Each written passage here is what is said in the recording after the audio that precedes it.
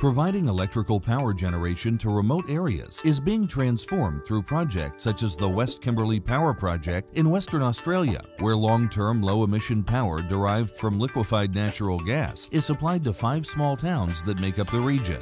The project reflects the growing trend of the switch from diesel fuel to liquefied natural gas, or LNG, as a viable long-term energy source for power generation and transportation.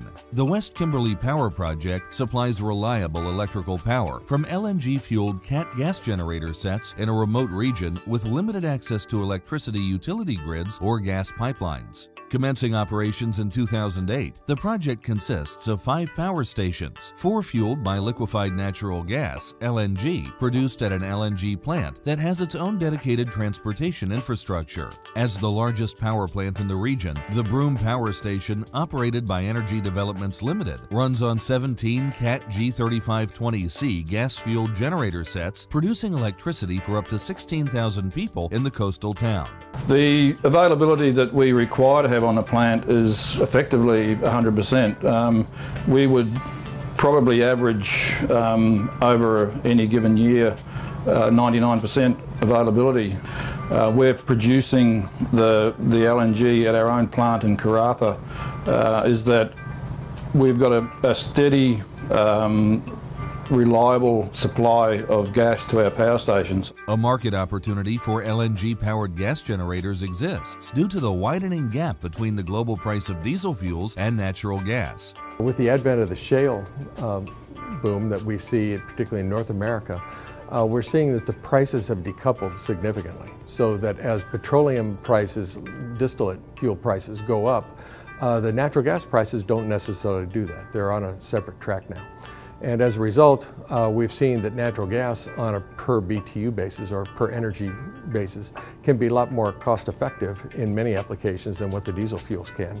Now it's a matter of just transporting that material from one source to another. And with the new transport systems that we see uh, that have been developed for liquefied natural gas, uh, we're finding that the natural gas alternatives can become very valuable to users. Natural gas is abundant, affordable, and clean, making it a model fuel for sustainability. Just as important, it is clean burning while providing a viable alternative to diesel fuel. LNG production facilities and transportation infrastructure are experiencing exponential growth worldwide.